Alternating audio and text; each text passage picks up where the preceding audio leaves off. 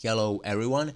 And for today I will show you how you can install Fiberblue custom icon pack for Windows 10 this is also working for Windows 8 8.1 but right now I'm using Windows 10 Creators Update and I will show you how to install this Fiberblue iPack in the description find the download link for this icon pack and when you download it just double click.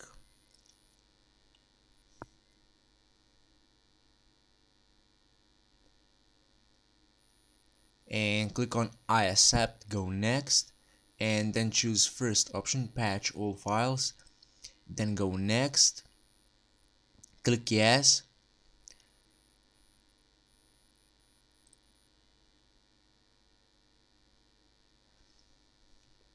okay creating restore point is very important so you can restore your windows default icons.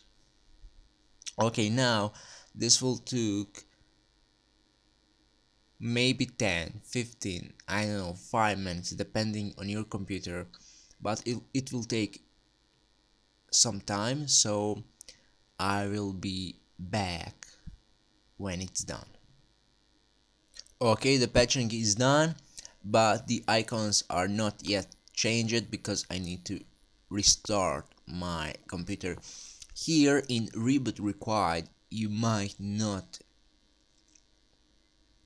need to restart your computer but I need because I have so many icon packs installed on these windows and I need to reboot my computer. So I will be back after restarting okay I'm here after restarting my computer. You can see that I have full custom icon pack on my windows. And here I will show you how it's gonna look like when I set the icons to extra large. Okay but I will keep it on medium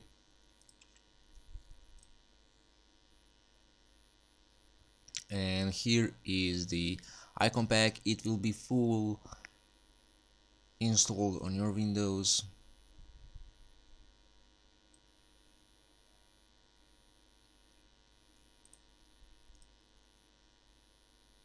And they are really really amazing.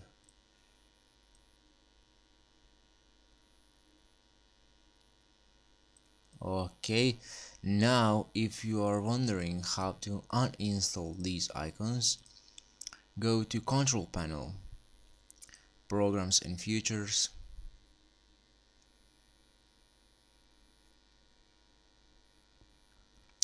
and here find the fiber blue iPack go to uninstall click yes.